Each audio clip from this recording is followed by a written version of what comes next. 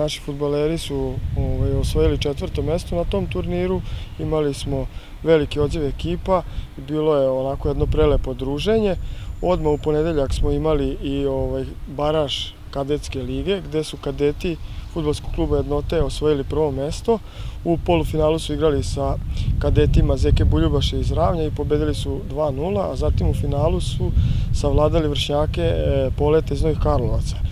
Ovi, ovom pobedom su ostvarili i plasman u kadetsku pionirsku ligu Srema i ujedno i pionirska ekipa zajedno sa kadetima će nastupati u toj ligi.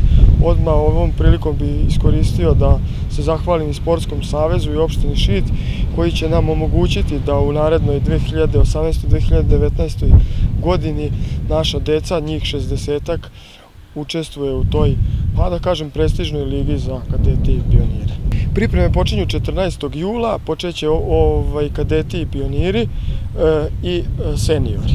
Već su neke utakmice i ovaj, organizovane.